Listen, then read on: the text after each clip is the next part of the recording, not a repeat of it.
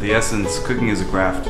Um, it's, it's manipulating products with your hands, um, using all of your senses, sight, smell, touch, uh, to developing something that's finished on the plate, to something that you're offering to a guest.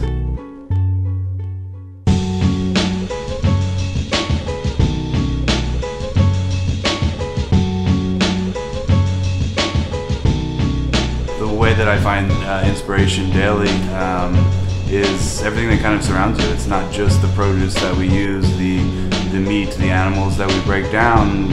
Inspiration can be in the weather, um, how hot or how cold it is. Uh, even a dress it, it invokes color and uh, texture, and inspiration kind of comes all around.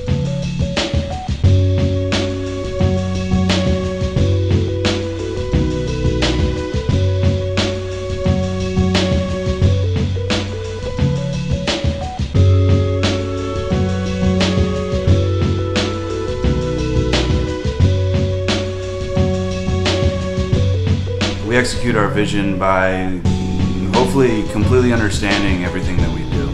If we're going to use a vinegar, it would only help us learn how to utilize that vinegar in the best possible way if we make it ourselves. And so we really try to go to the root of everything with all of the restaurants, Central Kitchens, Salumeria, and Flour and Water. And I think it's really important to go to the basis of where food comes from to fully really understand it, to then take it to the next